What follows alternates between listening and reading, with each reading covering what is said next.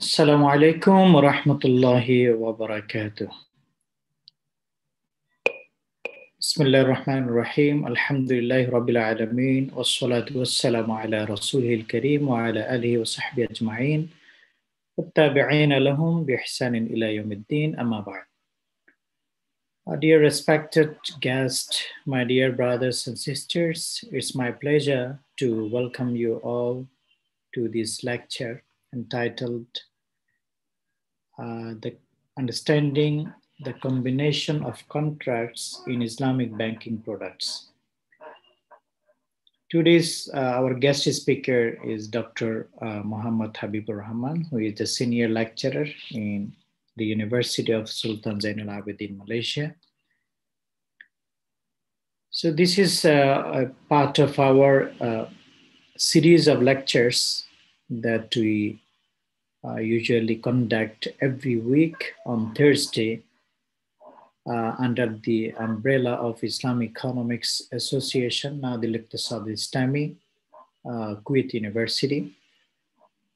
As Nadil Iqtisad Islami is trying to promote Sharia compliant finance models and standards and theories uh, through conducting lectures, talks, forums, and trainings. And we are trying to uh, cover wide range of areas of Islamic banking and finance. And also we are uh, trying to arrange some lectures and talks on the topics, specific topics uh, with the current and contemporary issues, uh, including sukuk, uh, retail, corporate banking products, practices, contemporary issues like uh, debt management and uh, finance uh, management.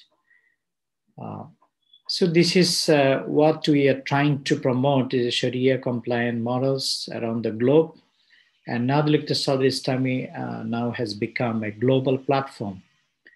And it, it's also bringing international experts, scholars, professors uh, who are very well known experts in this field of Islamic banking and finance.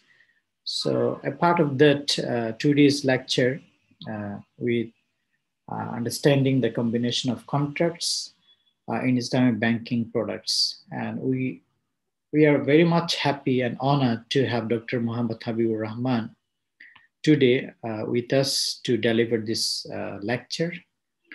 Uh, Dr. Habib has been conferred a PhD in Fiqh Mu'amalat by the International Islamic University in Malaysia and also a chartered Islamic finance professional having around 10 years of learning, uh, teaching, and research ex experiences in Islamic finance and Sharia.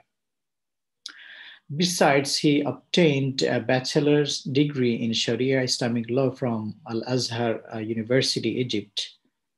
And currently, uh, Dr. Habib serves as a senior lecturer, assistant professor of Islamic finance and Sharia in the Faculty of Business and Management, University uh, Sultan Zainul Abidin, Malaysia. Prior to this, uh, he served as the uh, assistant professor at the International University of Agadir, Morocco. And he's serving as well as a trainer uh, for postgraduate diploma in Islamic finance practices at the Academy of Business Professionals, uh, Bangladesh. So uh, this is uh, my pleasure to welcome Dr. Habib to conduct today's lecture on understanding the combination of contracts in Islamic banking products. Uh, please welcome Dr. Habib. Okay, thank you. Thank you very much, uh, Dr. Muhammad Muhyiddin. Barakallah fikum. Thank you also, Dr. Uh, Nadil Iqtisad Al Islami, for these wonderful initiatives and for kind invitation. So it's a very pleasure, pleasure for me also to come here and to share some thoughts on Islamic banking and finance. So I'm very much happy also to be here with you all, inshallah. So um, let me share my screen.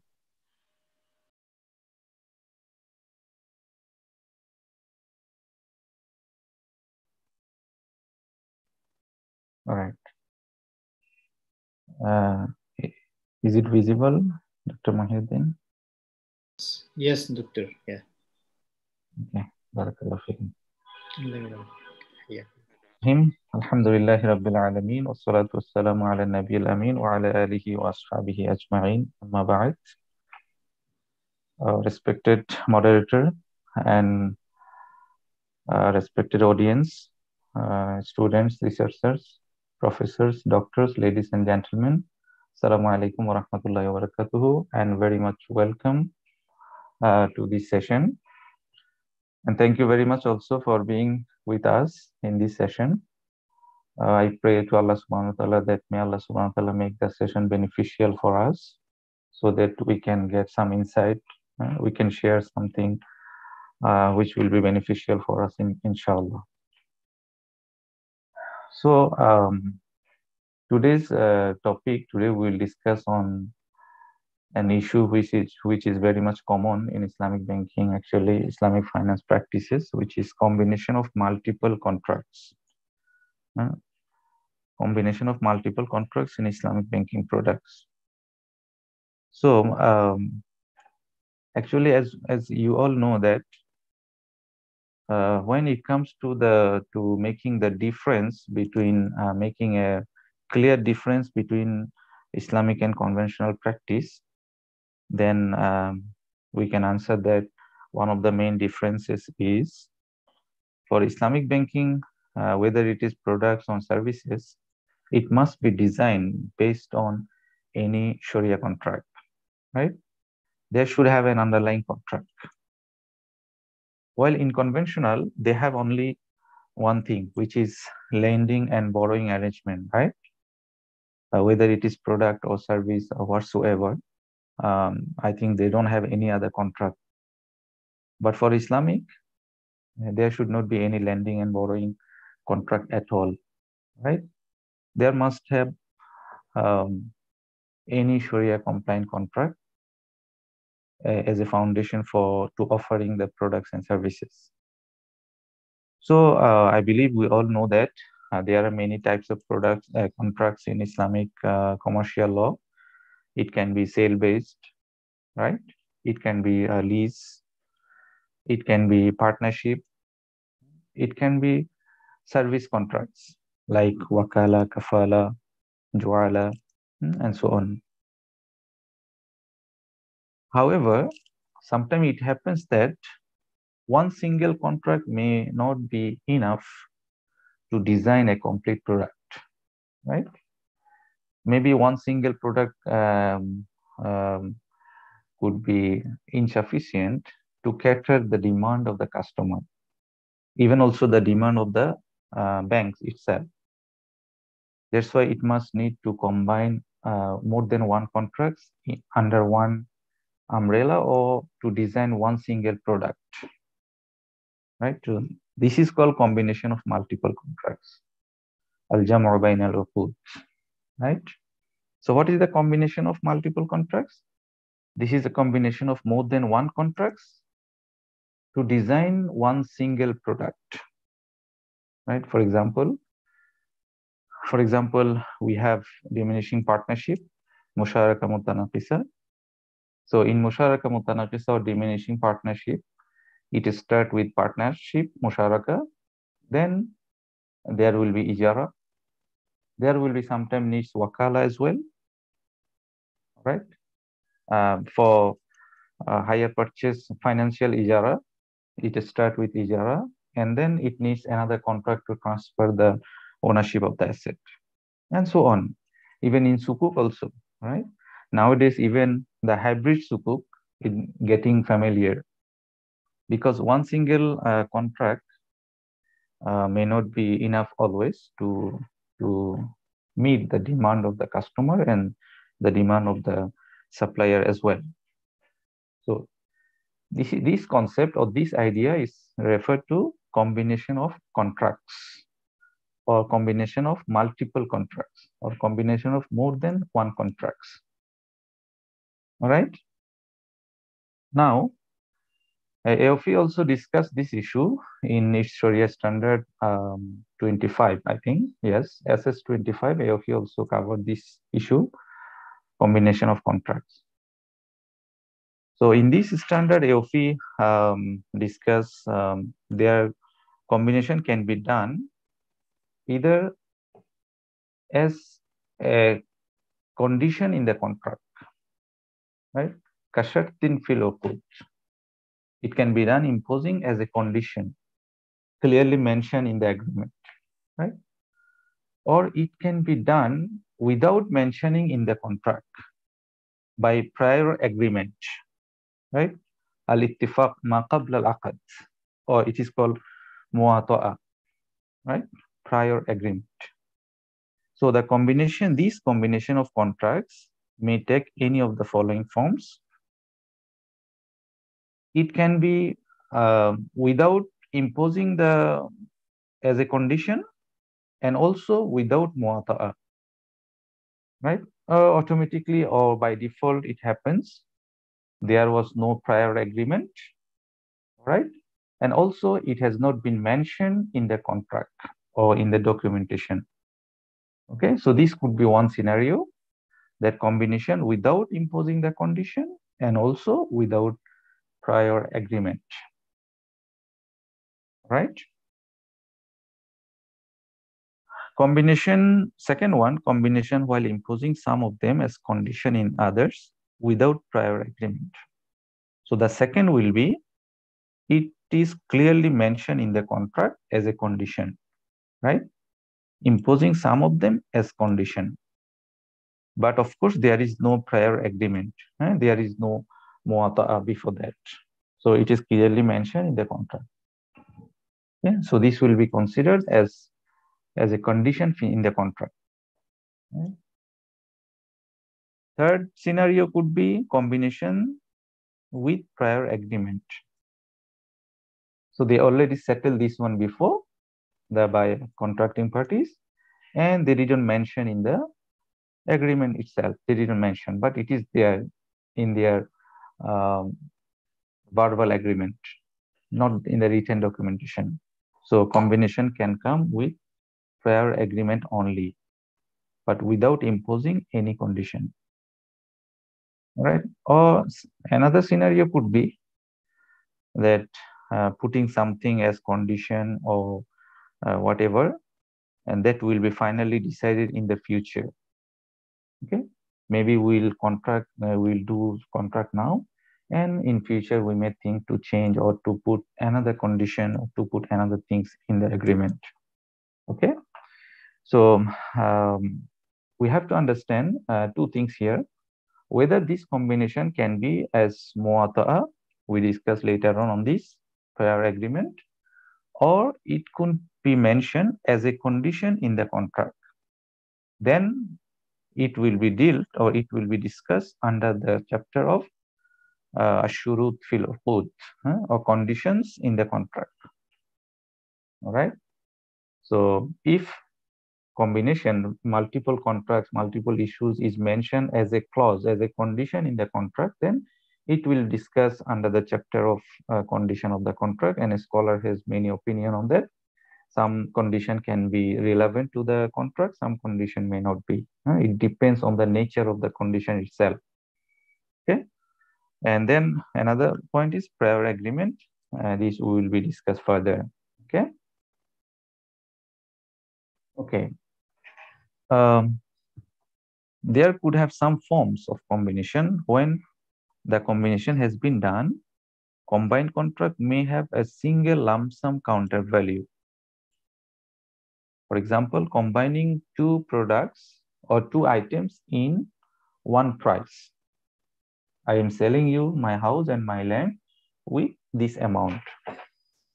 So this could be a form of combination because I combine two items in one, one contract, right?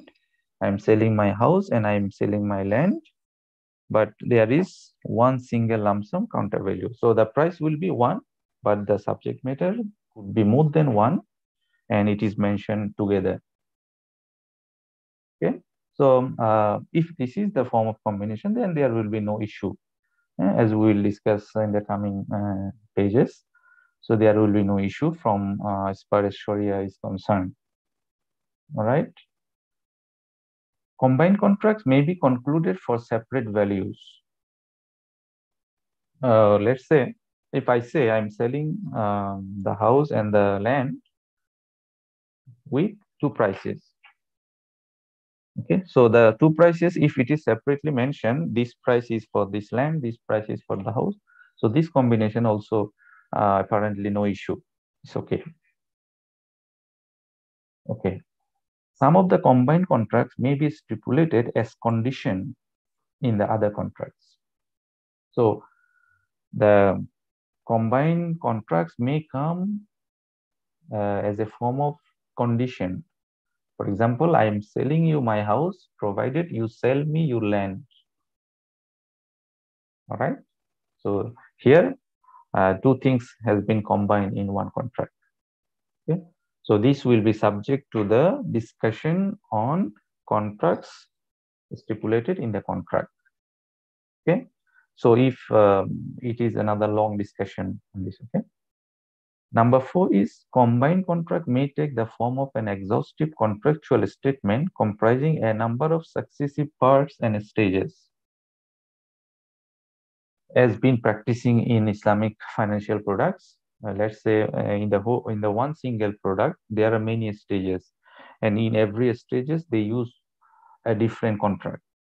Right. For example, first stage uh, use the musharaka, second stage use the ijara, eh? third stage wakala or before that wakala. So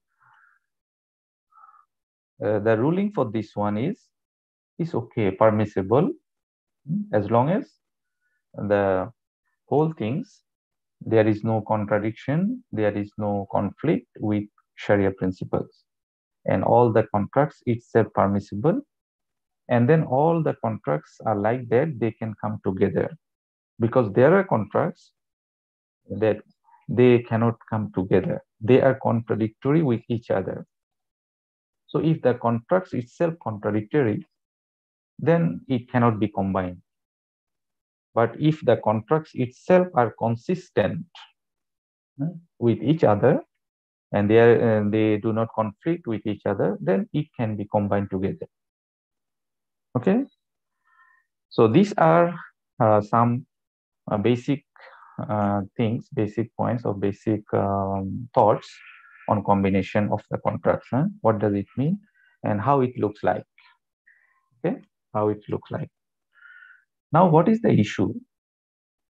Why uh, we are concerned? I mean, uh, why, as far as Islam or Sharia is concerned, why it is a concern? Why it is an issue?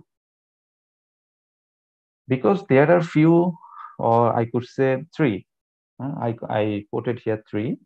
There are um, three prophetic narrations or hadiths that actually, um, what I say, prohibit or forbid or do not allow the combination of two contracts in a single agreement. Right?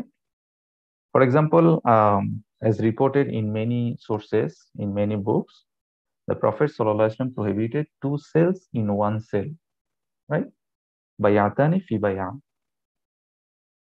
Bayatani fi baya, two sales in one sale. Or in another narration, it comes safqatani fi safqa. So naha an safqataini fi safqa. The Prophet prohibits or forbids uh, the combination of two agreements in one agreement. Okay. Another third hadith, the Prophet prohibit uh, naha and bay'in wa salafin, combination of sale and loan. So the Prophet prohibited the combination of sale and loan in a single agreement. All right. So here is our concern. We have to investigate whether this practice of combination in, in Islamic banking products, is it contradictory with this hadith? Or is it uh, it does not violate the message of the hadith? Now we have to understand the meaning of the hadith and we have to investigate from these meanings whether the current practice of combination in islamic banking products it contradicts with this hadith or not. Okay, so uh, three hadiths, bayatan fi bay'ah, safqatan fi safqa, and bay'in wa salafin, prohibition of sale and loan. Okay, so we will discuss further these three hadiths, the meaning of these three hadiths, and we will see whether the current practice uh, contradict with this hadith or not. Right? Okay. So actually, there should not be any issue uh, to combine more than one contract in one set. Right? Uh, because as we know in Muamalat, everything is permissible unless otherwise is proven. Right? Alas to fil Muamalat alibah.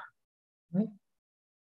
So from this principle, the the the honest combination or pure combination of more than one contract in one set is permissible without imposing one contract as a condition in the other.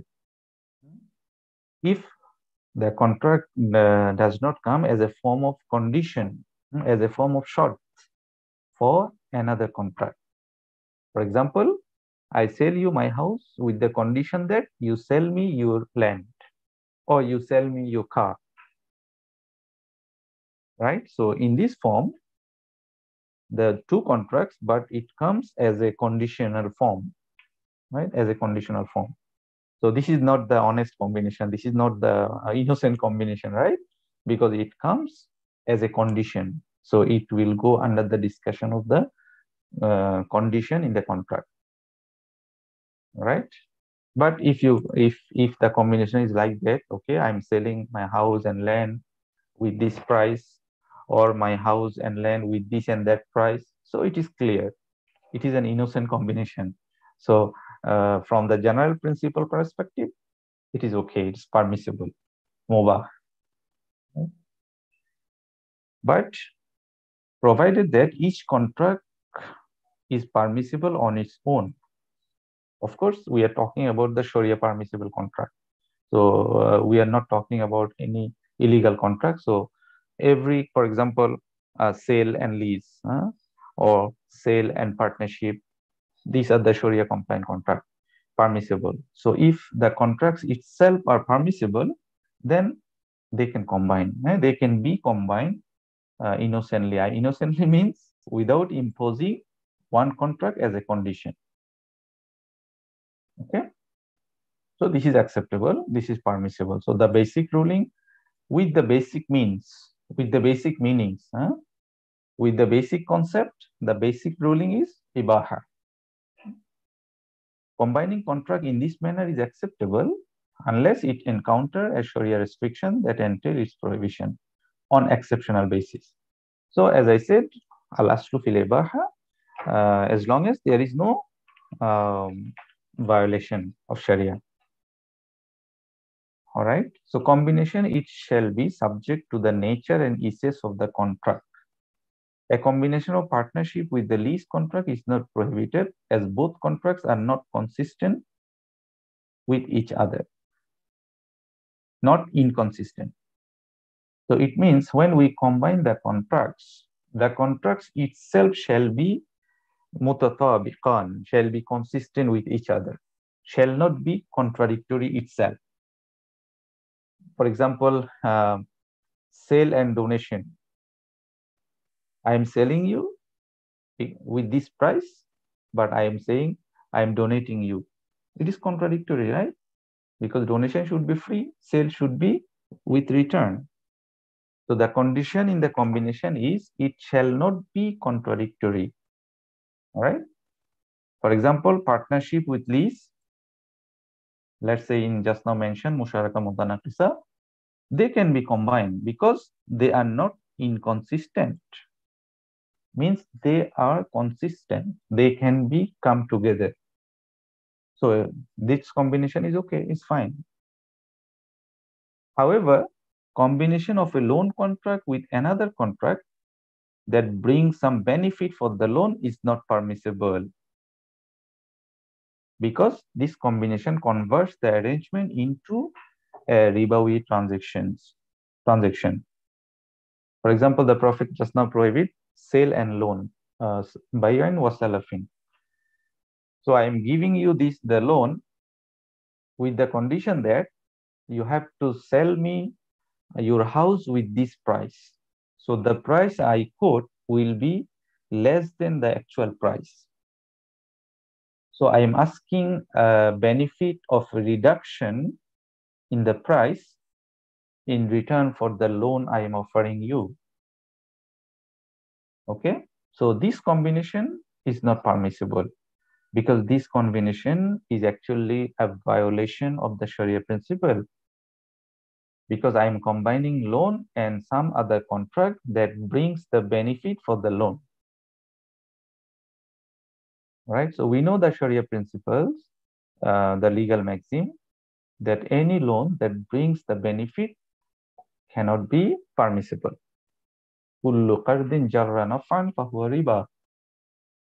So I am giving you the loan. At the same time, I am asking you to purchase your home with a cheaper price. But without loan, actually, you will not sell this price with that amount. Uh, you will not sell your house with that price. So because this combination brings a benefit for the loan, so this combination cannot be permissible. That's why we have to understand that uh, we cannot jump to the hadith. Eh? Just now I mentioned three hadiths. We cannot jump that, okay, as far as the hadiths are concerned, combination cannot be allowed. It's not permissible. No. The basic ruling, combination is permissible, but we have to see the nature of the contracts that are going to be combined. If the contracts uh, are consistent and the combination itself also is not violating, means after combining, there will be, there is no violation, then it's okay. But if the contracts itself are not contradictory, uh, are not consistent, and after combination, the final outcome also um, a violation of Sharia. For example, like this one combination of loan and sale, uh, which ultimately brings some benefit for the loan. So this combination cannot be uh, allowed. So the ruling is subjective, right? Subjective to the nature of the to the nature and outcome of the combination. All right. So what is the meaning of the hadith then? Because the hadith clearly mentioned it is not allowed, right? نهى عن بيعتين في بيع نهى عن صفقتين في صفقة نهى عن بيع وانسلف So hadith didn't make any difference. Hadith said no combination at all, apparently, right? Zahiran. But we have seen that this is the uh, discussion. So what is the meaning of hadith? What does hadith mean actually? What does this prophetic narration mean? So um, making uh, the the meaning of safqatan fi safqa actually uh, safqatan fi safqa and bayatan fi baya uh, refer to the same connotation same meaning. So what is the meaning? Let's read what our scholar says okay? Uh, for example scholar said uh, safqatan fi safqa is not permissible. Like what? For example one says this item is for such on credit and for such amount on cash. Okay, it means uh, we in the same sentence, in the in a single sentence or in a single uh, offer, you are making actually two offers. The, the price of this item is $10 on cash and $50, for example, on credit. So if simply the, the purchaser say, I okay, I am accepted. So it, it brings the gharar, uncertainty, because he has to clarify he accepted which one.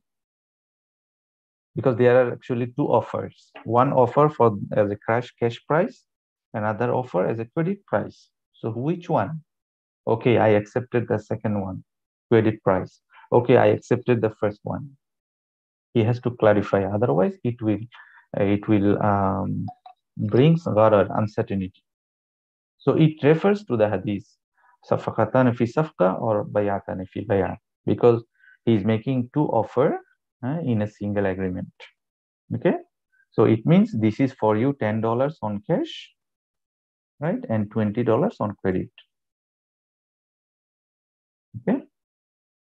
So this is the same meaning also uh, referred to by Adhan Bayar because uh, in some, uh, for example, Imam An-Nasai, when he mentioned the chapter name as Bayatan Ifi Bayar, and under this chapter, he mentioned the hadith of Qatan Safqa.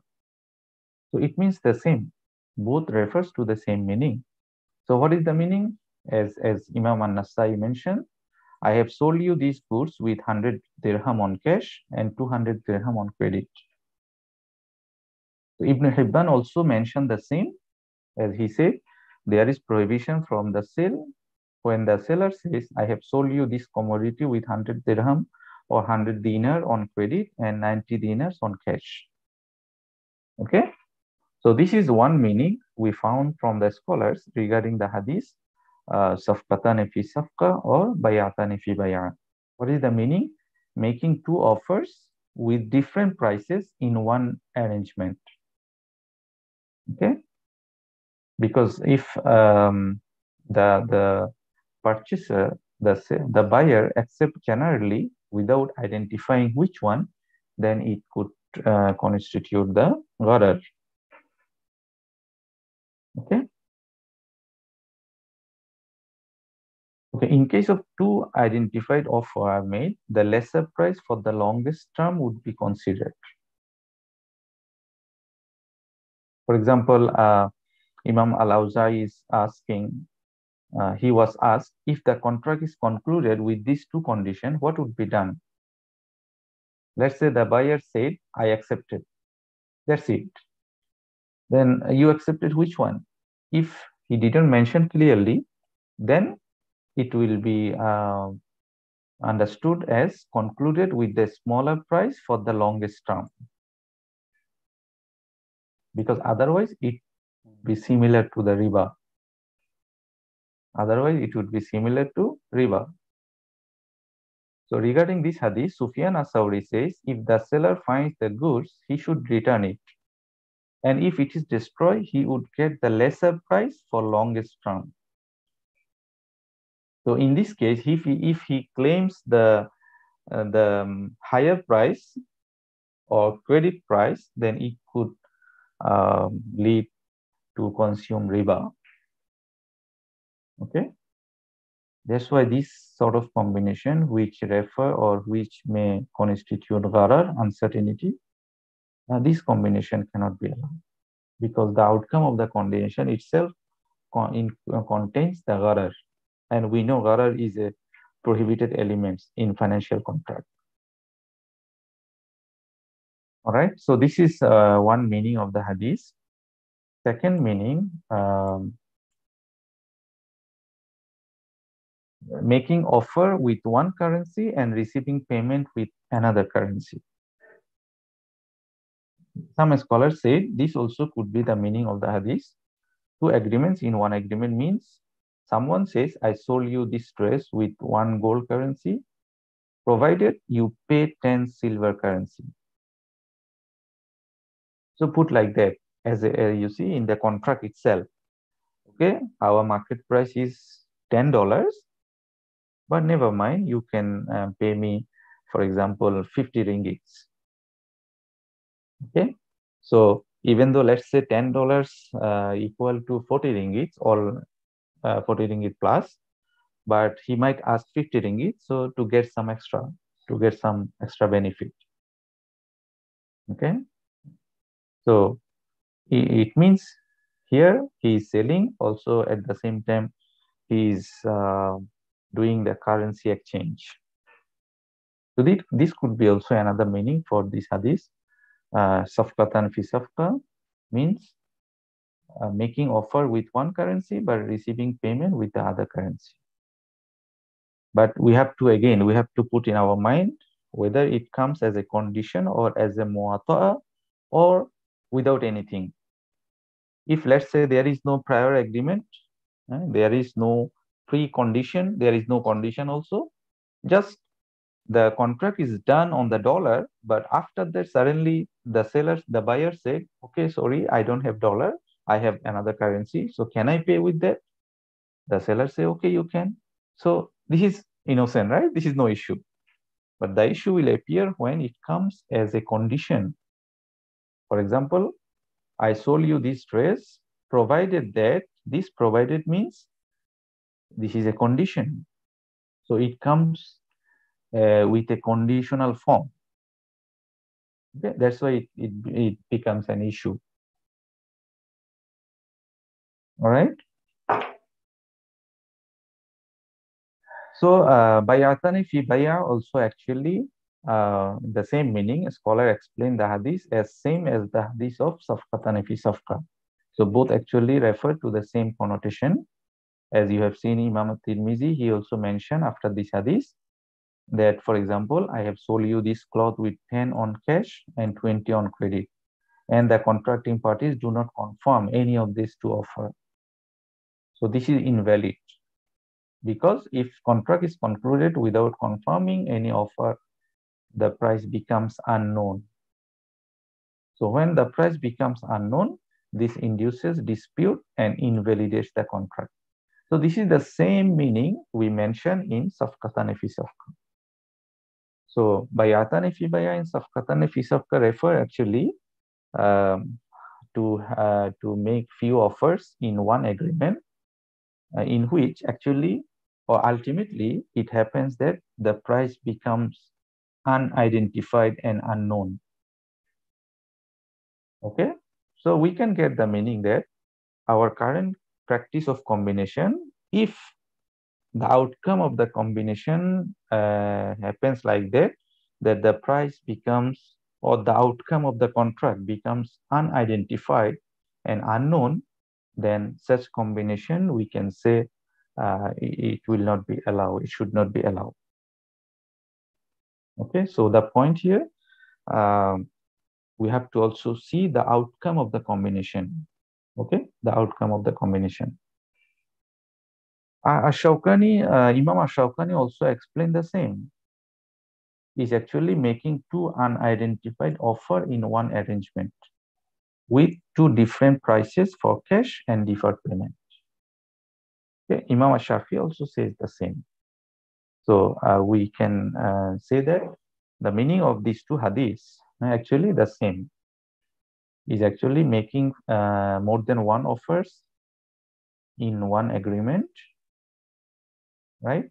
Where the price becomes unknown and unidentified, and this could lead to dispute, and accordingly, the contract becomes invalid. All right. Okay, what about the third hadith? Uh, sale and loan or buy wa salaf. Huh? The provision of naha and bay'in wa salafin. What does it mean? Imam Ahmad says, it means to lend someone an amount and then to sell him an asset with a price higher than the normal rate. Okay, so it is very clear. Um, the, the explanation of our scholar is very clear. It means this is actually um, what I call using a legal trick, hmm? a hila, hila al-mazmuma. Right? Hila, the word hila itself connotes the negative connotation, right? Gives negative connotation. So uh, the person is lending the amount expecting that he can buy the asset, he can buy the asset of the uh, borrower with a cheaper price, right? With a cheaper price. So he want to uh, enjoy some discount in the price in against of his loan. Okay, so this is an hila to consume riba, to receive riba. That's why the Prophet uh, um, prohibits combination of sale and loan. So we can conclude or we can uh, we can uh, get the meaning from here, get the message that in our current practice also, if any combination actually, uh, the, the intention is somehow to consume riba. Hmm? to receive the riba. So if it becomes like a legal trick, like a hila, then such combination um, is not permissible. Not permissible. Okay. So this is uh, one interpretation, um, from Imam Ahmad. Also, second meaning, also there is possibility to lend money by saying to the borrower, if you are not ready to pay back, then it would be considered sold. Okay. Um, let's say uh, somebody is lending uh, some money. Okay. Then said, okay, if you cannot um, uh, pay back, don't want to pay back, then it would be considered sold. So it means on the second meaning, this meaning, the contract becomes conditional between sale and loan. All right. So if you, um, if the borrower can pay back the loan, then it will be loan. If the borrower cannot pay back the loan, then it will be considered sold. So in this arrangement, a person gives the other an amount of money as loan and then takes an asset from him. Uh, so uh, in return for the loan amount, he is actually taking an asset from the person, saying that if you cannot pay back the money, your asset would be considered sold. Okay, so it means the asset that the lender has taken earlier will be considered exchange with the amount of loan. So actually the intention is getting the asset in return for the loan. Maybe the loan is uh, $1,000, but the asset could be for 1,200, 1,500. So the intention is actually to get extra 500 in return for the loan. But since cannot use the direct loan, it will be clearly riba that's why they go for a hila. What is the hila? They used an asset and they said, okay, they said if you cannot pay the um, loan, then the asset will be considered the sold. Okay, so this is uh, the, the there are these two interpretation meanings for this hadith. Okay, uh, naha an bay'in wa salafin. Okay, well, the first hadith is uh, clearly using as a legal tree. Okay, or second, uh, with the second interpretation is using an asset in between. So if the person cannot pay back the money, then the asset will be considered sold. So the intention is is very clear. The meaning here is actually uh, to to use any hila or a legal trick to consume the riba. So uh, our current practice of combination, if it appears like that, that uh, it could be like uh, Hila, then it should not be allowed. Okay, it should not be permissible. All right. So based on the hadith, um, if we we investigate and if we uh, see the scholar's opinion, I think majority scholars say combining two cell in one cell with two different subject matters and two different prices is invalid. Okay, so majority says invalid. However, we we uh, found another opinion from Maliki school and Ibn Taymiyyah of Hanbali schools that it is permissible to arrange two contracts in one contract with two different subject matter. So if one says, I have sold you my slave with the condition that you sell me your slave with the same price, the agreement is permissible. Actually, um, there is no, um, what I call, there is no khilaf, no dispute among these two opinions. What is the uh, point of disagreement? The point of disagreement whether the price is unidentified or not. If the price is uh, unknown and unidentified, then the contract is invalid everybody agrees. So if the price is identified, whether even though there is combination, but still the outcome is the price is known. I put many items in, in one agreement, that's fine. But ultimately, I clearly mention what is the price of this item, what is the price of that item, what is the price of that item, so that the purchaser can purchase and the purchaser can clearly knows which one the price for uh, which item. Okay. So majority says, uh, even all agrees, if the price, the outcome of combination is happens like that, the price becomes unknown, then the contract is invalid because it will lead, uh, it will bring dispute. It will bring dispute among the parties. Okay, yufdi ila niza.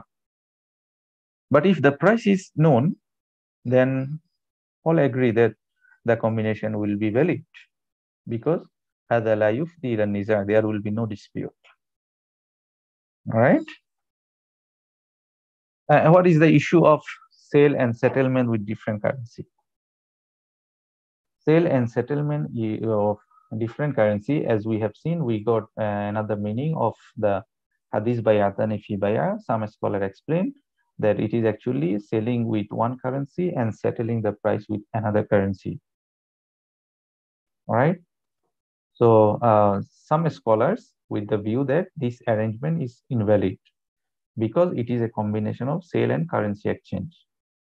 While Imam Malik says, here the seller does not intend for currency exchange, but he just firstly mentioned dinar and then replaces it with dirham. So again, we got different opinion from the scholars, right? Uh, Imam Ibn al-Arabi mentioned, since he denies the gold currency, the transaction will be concluded with silver currency, as if someone says, I have sold my land in exchange for your land, provided that you settle it with your house. So this is in fact an exchange of land with house, and that is permissible. Okay, so the how we can see this this uh, different opinion among the scholars. So uh, I, I want to remind you to refer our earlier uh, basic principle, whether we have to see uh, whether it is actually put as a condition or it comes as a prior agreement or it is, uh, I mean, by default automatically happens. So let's say it is their condition, they put as a condition, then it will be under the chapter of condition in the contract let's say there is prior agreement that actually they are uh, selling with dinar and they are asking to pay or to settle with dirham. So this is actually purposely they did. So if they did it purposely, so then we have to follow the rules of currency exchange. All right. And if the currency rules of currency exchange uh, violated, then and if it violates the rules of currency exchange, then the arrangement will be invalid. However, if it happens just automatically, I mean, let's say the contract happens on gold, but gold dinar, but suddenly the person doesn't have the gold dinar, but he wants to pay with another currency. So there is no prior agreement, no muata, no shurut. Then it is fine. Then it is permissible. Okay, so this is how we can combine uh, the the different opinion among the scholars. All right. So I think uh, we got the the uh, message uh, that uh, how we have we can see the combination. Uh, the combination could be valid. The combination could be invalid. So the basic principles is permissible if there is no violation. All right. If the combination comes uh, in the in the appearance of condition, then we have to investigate the rulings of condition. All right. And if the combination comes as a muata'a, then we have to see whether it is the hila or it is the makharij, sharia exit. Okay. Uh, all right. So there are some uh, dawabit. There are some um, sharia controls. We can say the dawabit parameters uh, to to uh, to determine whether the combination is valid or invalid permissible or not permissible. Okay. Uh, the first one, combination should not include the cases that are prohibited in Sharia. Okay. Uh, the scenario cannot be like that, that is clearly prohibited. For example, combining the sale and loan. This is clearly prohibited. So, it will not be allowed. Okay. The second uh, parameter, combination should not make the unlawful things lawful. As we have seen, if it becomes as a hila, as a trick, then it will not be permissible, right? Uh, our Shaykh scholar Ibn Qayyim also mentioned combination between loan and sale is prohibited because it leads to involve with riba by taking more than what one gives as loan. So using the sale or lease contract in disguise, eh? like backdoor riba. Eh? So uh, if the combination happens in such a way that uh, it makes the unlawful things lawful, then it will not be permissible. So the second parameter, second bit is combination should not make the unlawful things lawful. Right?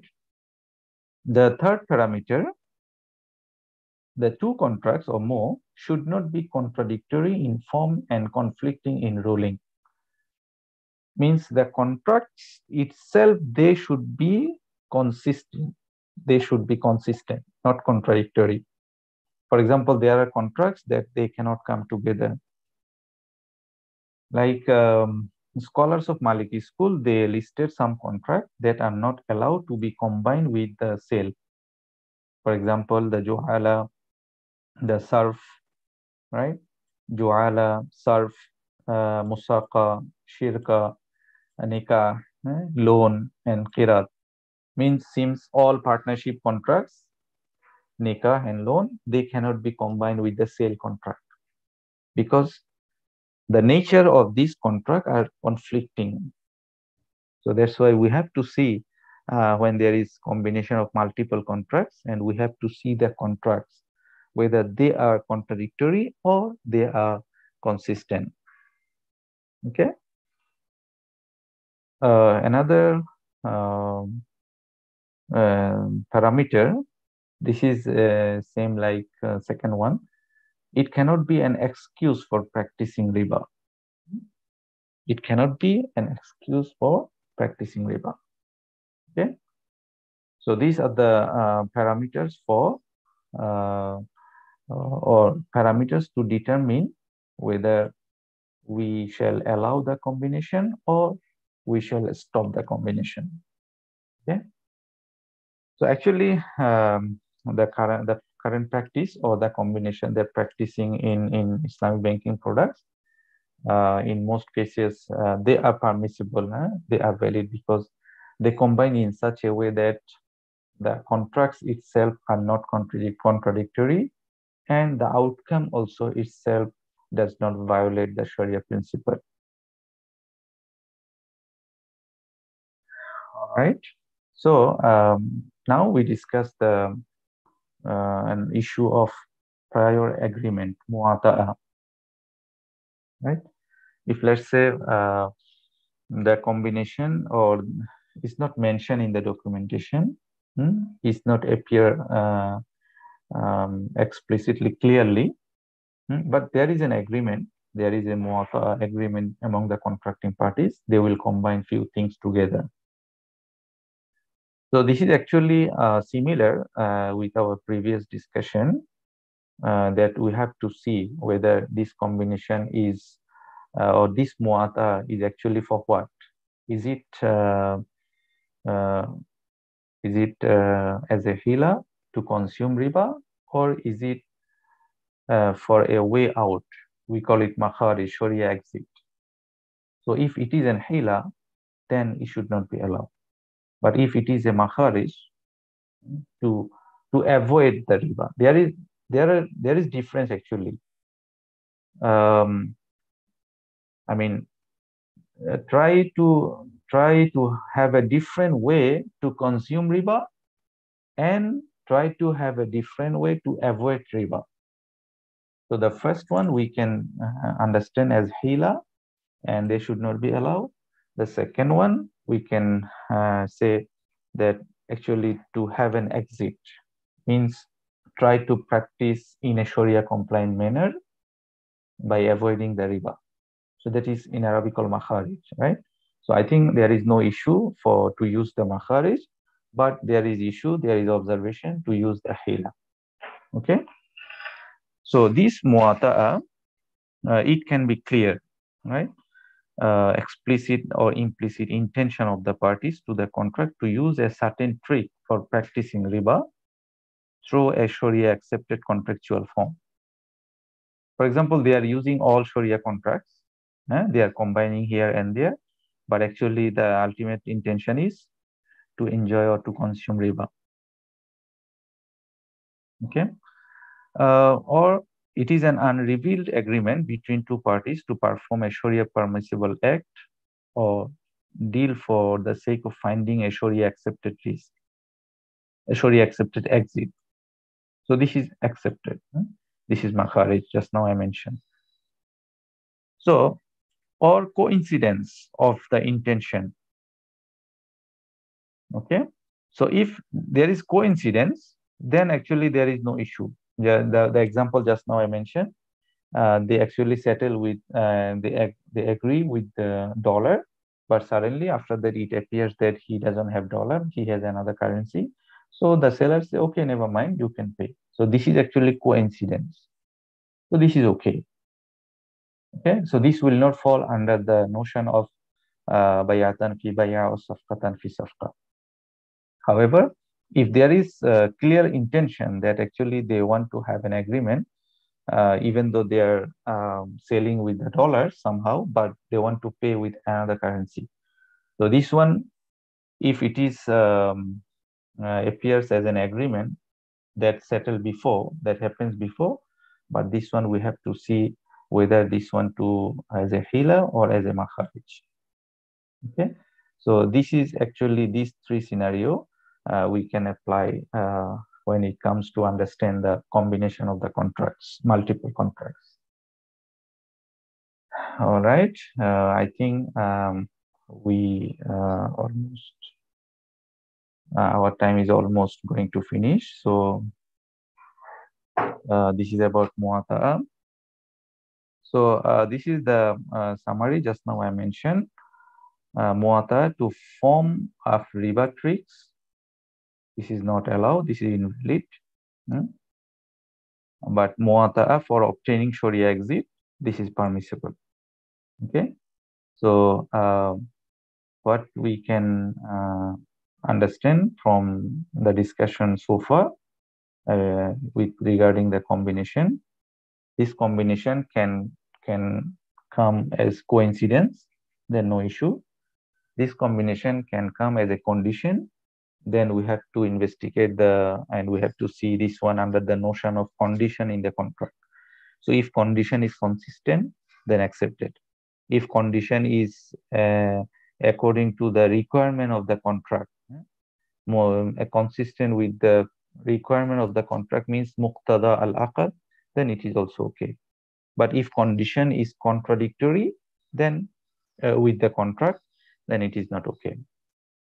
And if the combination comes with the notion of uh, as a pair of muata, then we have to see whether this muata is coincidence or this muata is as a hila or this muata is as a sharia exit.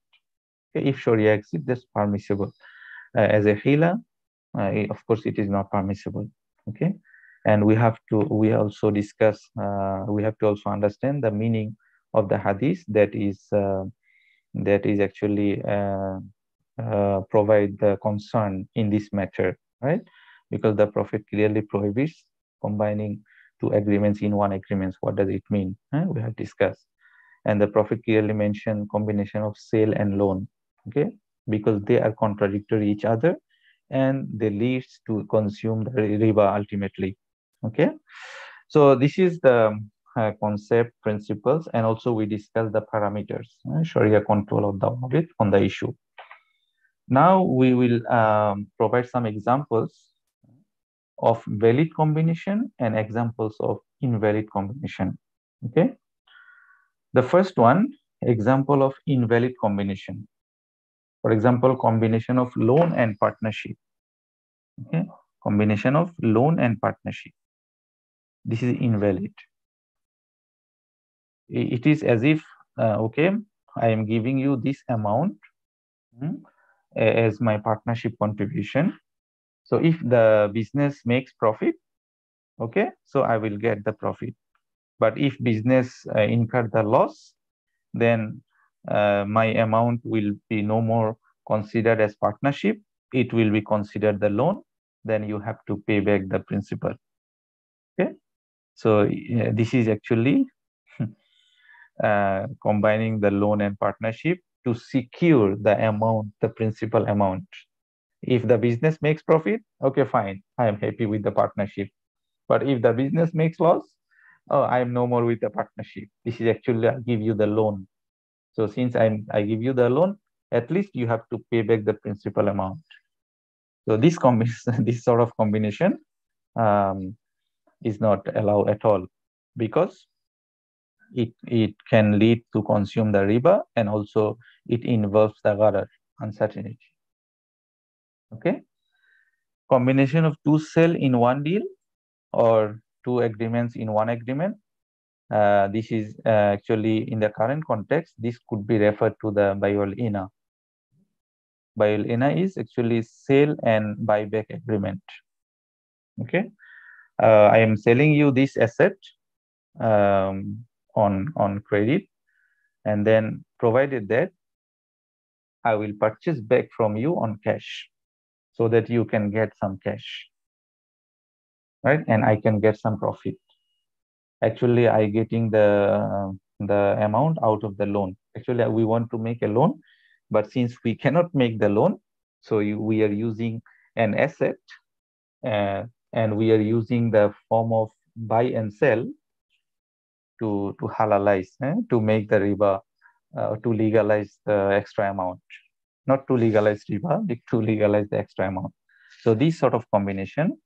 Of course um, uh, we have to note that uh, there are um, there is disagreement among the scholars regarding bayul ina even though majority uh, says it is not allowed but there is opinion also that um, it is permissible. So we have to see actually how it is practicing if uh, it is practicing as a as a as a pure and innocent sale contract then okay we could say never mind. But if it is used as a hila then we have to be careful on that. Okay? So this could be an example of invalid combination. Another one combination of rebate with early settlement. Okay? For example um, uh, i am giving you for example, uh, in a loan contract, uh, if the loan amount is settled early, then the borrower will be given the discount, which is called rebate. So if this rebate is actually comes uh, in a contractual form, then of course it will be uh, similar to the riba. Okay, so this is a combination. There is actually loan agreement and rebate. So this combination also invalid combination invalid. So there are many other examples also for invalid combination. What about the valid combination? A valid combination can be, let's say, the loan and hawala. The loan and hawala. For example, um, um, there are some securities instrument or Islamic accepted bills. Yes, even though uh, it is also debatable, some say it used Bayuddin selling the debt is itself controversial, but it's still actually the financial institution provides loan facility through bill of exchange and then transfer this loan to the third party on discount basis. So actually, uh, these Islamic accepted bills is offering a loan as loan and at the same time transferring the loan from one party to another party, which is hawala. So there is no issue in this combination as far as the combination. Eh? I'm not talking about the from uh, Bayuddin cons concern, but I'm uh, from the concern of combination. This combination is uh, no issue in this combination. Right, combination of loan and mudaraba. Combination of loan and mudaraba. For example, um, in some jurisdiction, Islamic banks receive the current deposit based on Qardul Hasan. Okay, so this is loan. However, it may be stipulated if the depositor do not withdraw fund for a certain period, then they will deserve return from the uh, fourth month.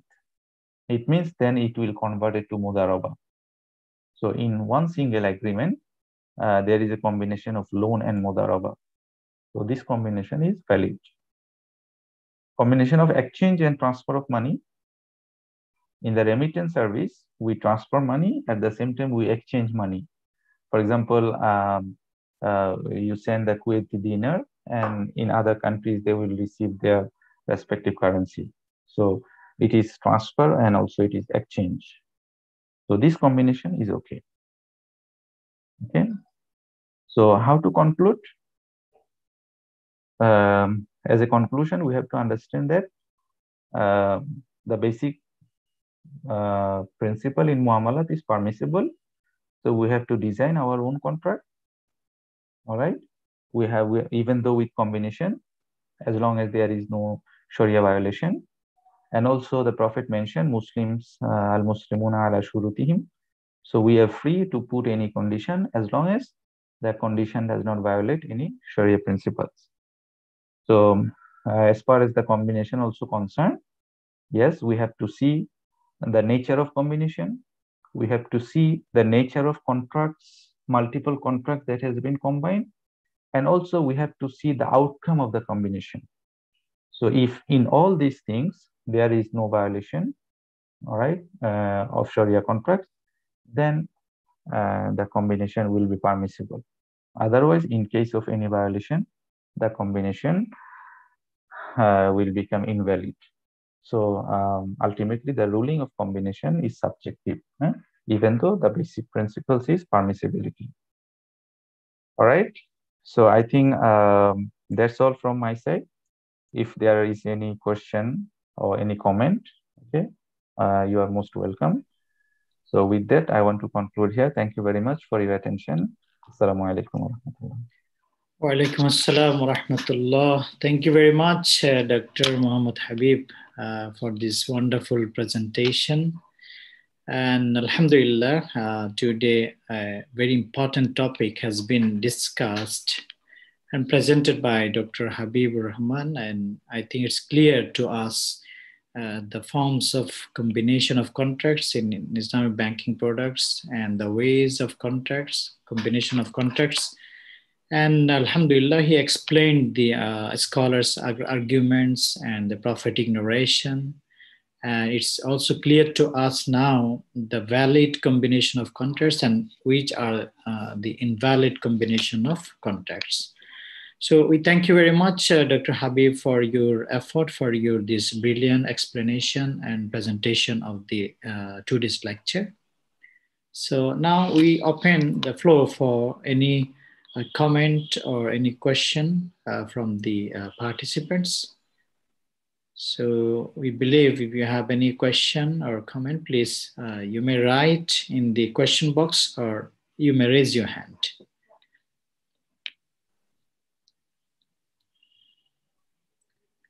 if you have any confusion, uh, I think it's good chance uh, to know more about uh, the combination of contexts.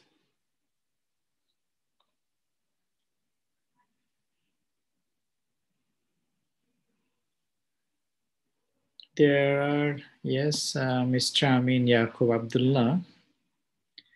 Thanks and appreciation to you, okay, Dr. Muhammad, for providing us with these meaningful lectures. Okay, thank you very much, uh, Mr. Amin. I'm pleased to put in your hands two questions. Which are the following? Can Sharia supervisory bodies play a major role in product development? Yeah, Dr. Uh, Dr. Habib, I think you can see the question in question box. Uh, yes, thank you very much uh, for Mr. Amin Yaqub Abdullah uh, for this question. Can Sharia supervisory body play a major role in product development? Of course, why not? Sharia supervisory board actually in Islamic financial institutions, Islamic banks, the function of Sharia board, Sharia people in each and every department. They should be in each and every department.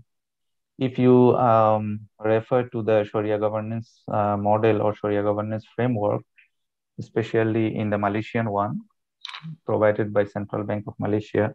You can see the Sharia function, Sharia people in the risk department, in the credit department, uh, in the uh, audit department, hmm, in the research. So they should be everywhere.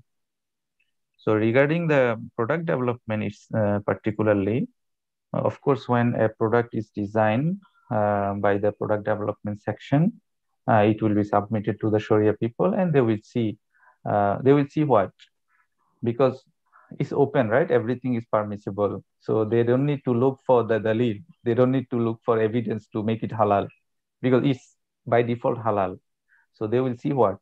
They will see whether there is any issue, there is any violation, there is any prohibition, or there is any Sharia concern that need to be improved or need to explain further. Okay, so they have they um, they should actually they should not have only a simple role they should have a vital role because ultimately they are the one who will approve. They are the one who will justify right? Um, if if i refer to the malaysian practice it is very nice when any new issue or new product arises. Of course it, it must be approved by central sharia advisory council of bank negara malaysia. So and immediately after approval they issue the resolution. So in resolution, they explain uh, what is the process of this approval and why they approve, what is the Sharia justification, what is the what could be the Sharia issue here, and what is the answer. So it is very much, uh, I mean, uh, very much good practice, very good practice. I really appreciate, and any research for any student, it is very helpful uh, to know and to update regarding the product, new product or new issue or new service. So I think the, the Sharia people should have a critical role, vital role in product development or to settle any issue regarding the banking practice. I hope it is clear. Understood. Thank you. Thank you. Thank you, Dr. Habib. I think there is another question from uh, Sister Fatima. أنا أعتذر على عدم التفاعل والسبب إنجليزية ضعيفة ولكن أريد أن أسأل المحاضر عن كفاءة العقود المركبة هل ضعيفة بالضوابط الشرع... الشرعية أم زادت؟ Of course um, شكرا شكرا للسؤال um, of course uh, بالاختصار سأقول زادت طبعا زادت الشريعة دائما هنا للزيادة ليس للنقص. الشريعة دائما هنا دائما للمصلحة المصلحة المباحة. الشريعة خاصة في المعاملات الشريعة دائما إيجابي. إيجابي. في في الجانب الإيجابي. Because الاصل في الأشياء الإباحة. Okay. and um, هناك مقولة مشهورة من إمام ابن القيم. He says كلما uh, um, وضعت المصلحة فسمى شرع الله. أو كلما وجدت المصلحة فسمى شرع الله. So ما دام هناك مصلحة مباحة right? يعني غير متضادة للشريعة الشريعة هناك. طبعا بالفعل زادت كفاءة الوقود المركبة زادت شكرا دكتور uh, any more question uh, I think Sister Fatima would like to uh, talk. Uh, yes, uh, Sister Fatima. السلام عليكم ورحمة الله وبركاته. السلام ورحمة الله. شكرا على كل ما تبذلونه وشكرا للمحاضر ولكن سيدي الكريم أريد السؤال عن طريقة حساب هذه الكفاءة.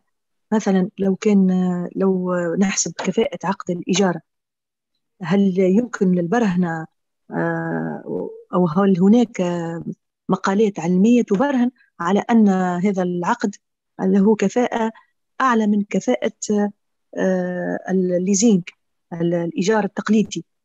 والحال أنه نسبة نسبة العقود في الإيجار سواء كانت منتهية بالتمليك أو مع خيار التمليك في صورها المتعددة النسبة ضئيلة مقارنة بالليزينج وخاصة في بعض الدول التي فيها المالية الإسلامية غير مؤطرة بالقانون وبارك الله فيكم مسابقا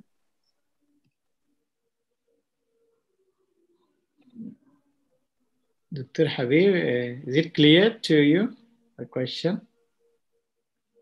So, هل يسمعني؟ uh, نعم نعم uh, سمعت يعني آه، تريد تقصد يعني خاصة في جانب الحساب يعني accounting side?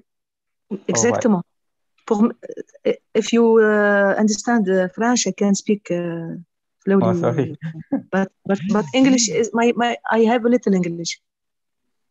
آه، أقصد سيدي الكريم هل هناك مقالات؟ أنا أنا في صدد البحث في مذكرة بحث ماجستير ولم أجد مقالات تحسب آه، كفاءة الإجارة المنتهية بالتمليك أو مع خيار التمليك في صورها المختلفة. آه، أبحث عن آه، طريقة حساب هذه الكفاءة. عندي فكرة معناها في في ذهني. الفكرة هي أن أحسب إعادة دمج الأقساط في الاقتصاد آه، في الحسابات البنكية خلينا نقول وبالتالي في الاقتصاد يعني إعادة الدمج آه، أريد قياسها أردت القياس ولكن لم أتمكن من معطيات على مستوى آه، المحاولات اللي قمت بها. أريد قياس هذه المردودية بهذه الطريقة إعادة رسكله أقساط الاجاره المنتهية بالتمليك. لم أجد مقال يتحدث بطريقة حسابية علمية عن هذه المردودية وعن هذه الكفاءة الاقتصادية إذا لديكم فكرة واضحة أو مقال ممكن إحالتي عليه آه، فهمت شكرا شكرا آه، شكرا لك I think uh, I, I think um, for the accounting, the first point, the first issue is actually the practice. The accounting practice, uh, most of the cases does not represent the actual Sharia principle or Sharia practice. there is a, still a gap between uh, the Sharia concept or Sharia principles and the accounting or reporting practice. And uh, some people still they follow IFRS. Eh? In some countries they have to follow IFRS, uh, and um, some they follow others. Maybe I, I could suggest you uh, to go through the accounting standard of AAOIFI.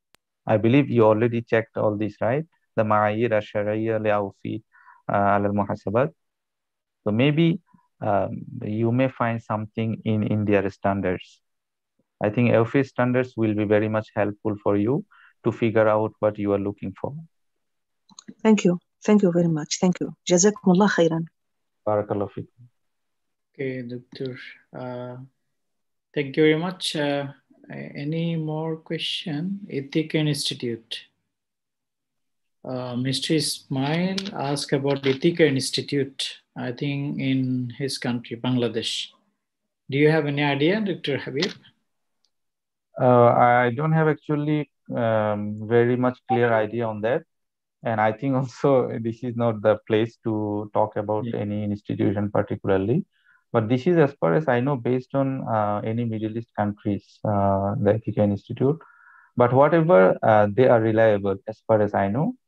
They are reliable. They provide the training, research, and um, professional or academic credenti- credential, academic degrees uh, on, on Islamic finance. So if anyone interested can can join with them. No problem, as far as I'm concerned. Thank you. Okay, uh, any more questions or comment?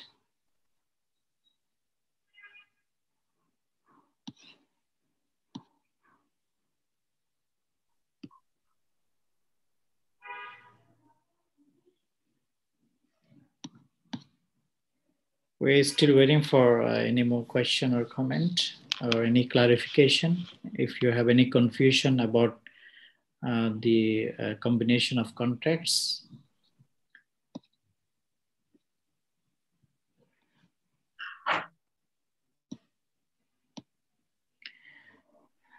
Okay, uh, thank you very much. Uh, we uh, Oneke Maruf. Okay, uh, Mr. Oneke Maruf raised hand. Uh, yes, Mr. Oneke Maruf, please. Assalamu alaikum wa rahmatullahi wa barakatuh. Wa alaikum assalam wa rahmatullah. I'm Abdulaziz Uneke Maruf from Nigeria. I'm a Hello, student of Islamic finance in Malaysia. I appreciate what our lecturer has done today, and I want to appreciate now the Iqtisad al-Islami, what you are doing for Islam. This lecture today has been an eye-opener. You have been able to explain to us the condition under which you can combine contracts. I want to say Jazakum Allah khairah to the organizer and Jazakum Allah khairah to the speaker. Jazakum Allah khairah to, to all of you. Barakallahu feek, uh, Ustaz Abdul Aziz. Shukran. Hayakum Allah. Jazakum Allah khairan. So, Mr. Shahrawi uh, please yes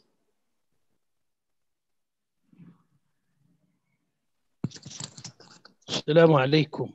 عليكم السلام ورحمة الله yes please Thank you, brother, and uh, my thanks also extended to the lecturer. I want to ask uh, about this uh, الإجارة المنتهية بالتمليك. The Malaysians, the Malaysian experience consider this as a combined uh, contract, but in the Gulf countries and the, the Arab countries as a whole, uh, consider this بيعتان في بيع. I want to know exactly how he solved this problem. I think the, the Malaysian experience is amazing, but I need some scientific approach how they solve the problem. They overtake the, this uh, this uh, crucial issue, especially for, for example, in Algeria, we are sometimes asked by the people, is this halal or not?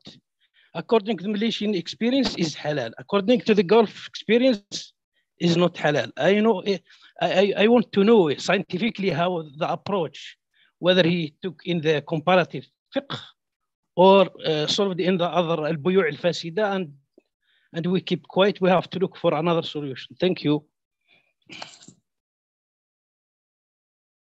yes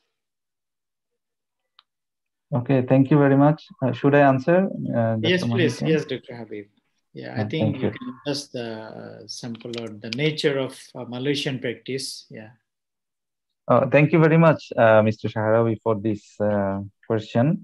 Uh, actually, for me, um, there is no issue for Ijara Muntahiya with Tamliq. For example, um, we are talking about the combination of multiple contracts, right?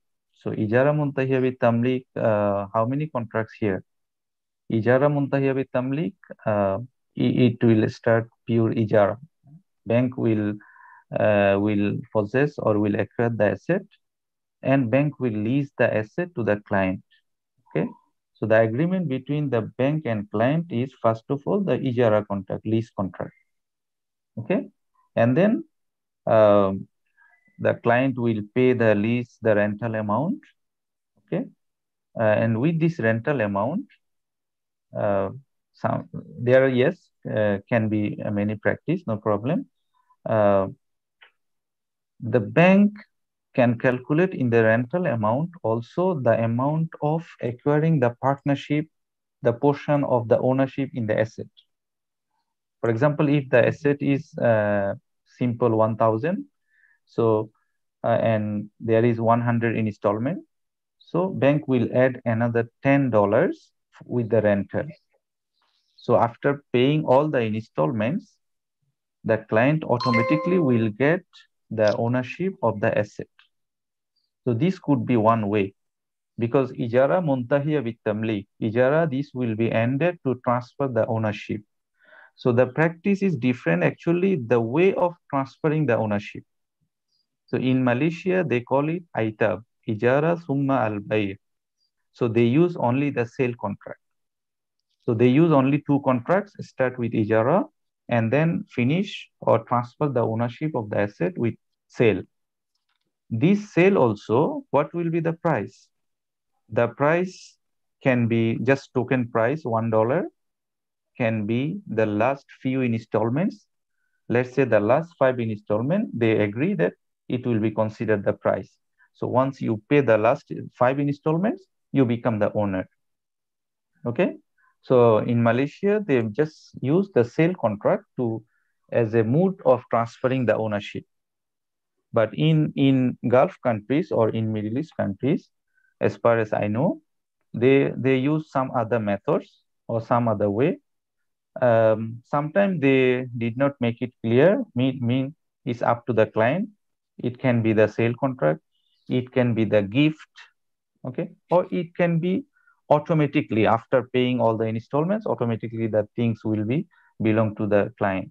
So there is no actually no very much difference between uh, Malaysia and Gulf countries or Middle East countries uh, in Ijara Muntahiyah with Tamlik. Just because Malaysia wants to everything different, so they choose only the sale contract and they name it differently. They name it AITAB, Ijara Summa Al It means they they just pick up the one mode, which is the sale sale mode to transfer the ownership. But in Gulf, they put it open. Uh, any mode, any bank can use to transfer the ownership. So I think as far as combination uh, as our topic today, uh, there is no issue whether in Malaysia, whether in Middle East. I don't know if there is any other issue that could be uh, another further discussion. But as far as combination, I don't see any any issue or any Sharia uh, uh, objection uh, from the combination perspective. All right. I think. Uh, Jazakumullah Dr. Uh, Habib. Uh, any more last question or last comment? We otherwise it's already time to conclude the session. Uh, okay, thank you very much. We would like to thank all participants from around the globe for joining us in this uh, important lecture. And for your information, our uh, lecture is already recorded in our YouTube channel uh, in Arabic, Nadil Iqtisad. And also you may find uh, our details and information of the lectures and all the programs of Nadil Iqtisad in Facebook group Facebook page uh, in Arabic as well, Nadil Iqtisad. And uh, one brother asked, uh, uh, what about other courses about Islamic banking? Yes, we do have uh, programs and lectures uh, on every Thursday. Every Thursday at the same time in, in English language. We do also have everyday programs in Arabic language so you may refer to our uh, Facebook page or Twitter or our uh, website, uh, sharia.org, and you will find there details, information about our activities and programs. So we thank you very much and we thank our staff and uh, lecturers, moderators, admin of Nadil Iqtisad Islami, especially our Dr. Ala al Director General of Nadil Iqtisad Islami. And we uh, thank uh, our uh, Dr. Habib Rahman for uh, your effort and for your time. May Allah subhanahu wa ta'ala grant your effort and this time, and may Allah subhanahu wa ta'ala reward you uh, here and hereafter. Um, with that, inshallah, we conclude. If you have, Dr. Habib, any uh, concluding remark, uh, please. Okay, shukran. Thank you very much. Uh, first of all, I would like to um, congratulate for all the participants and um, I want to uh, appreciate your time, your effort, and thank you for being with us and for being participating in the session. Uh, may Allah subhanahu wa ta'ala bless us. May Allah subhanahu wa ta'ala accept our effort uh, just I actually I would like uh, the objective is today actually just to uh, introduce this issue and to uh, to introduce some fundamentals of the issue right if you can understand the issue of combination you can investigate any of the products any of the practice in islamic banks for example i want to investigate the ijara muntahiya tamliq from the combination uh, from the notion of combination okay so i believe uh, we could be able to share some thoughts. May Allah subhanahu wa ta'ala accept it and bless in our time and efforts. And last but not least, actually, I have to appreciate I, I, and I have to acknowledge the efforts of Nadil Iqtisad al Islami. And I always uh, appreciate, I always pray for Nadil Iqtisad al Islami, for its uh, leaders, directors, moderators, and all the uh, personnel who involve, because this is actually very good effort and uh, this is actually uh, as a ni'mah for us. And maybe sometime we recognize the ni'mah after it has been lost. So uh, this is very much a rare effort and all the lectures, all the academic materials are available on the YouTube. I myself also sometimes follow the Nadil lectures, lectures and recording because it is very much beneficial for everyone, for all the educators, researchers. So uh, I thank and I pray for Nadil Iqtisad Islami for his all the family members May Allah accept this platform. May Allah subhanahu wa ta'ala accept this effort as a way of um, becoming successful in the hereafter as well. So with that, uh, I want to conclude my remark here. Thank you very much again. And assalamu alaikum wa rahmatullahi wa barakatuh. شكرا لكم جزاكم الله خيرا كتب الله أجركم دكتورنا الفاضل دكتور محمد حبيب uh, brother Musibo, yeah, you may email to Dr. Habib uh, in the slides. on the last page of the slide, you will find his email ID. So you may email to Dr. Habib and he will respond to you, inshallah. So with that, uh, see you soon in other sessions, in other lectures in future, inshallah. Uh, we conclude today's session here. Subhanakallahumma bihamdik. Ashadu an la ilaha illa ant. Astaghfiruka wa atubu ilayk. Assalamu alaikum wa rahmatullahi wa barakatuh. وعليكم السلام ورحمة الله. شكرا لكم. جزاكم الله خيرا. بارك الله فيكم. حياكم الله.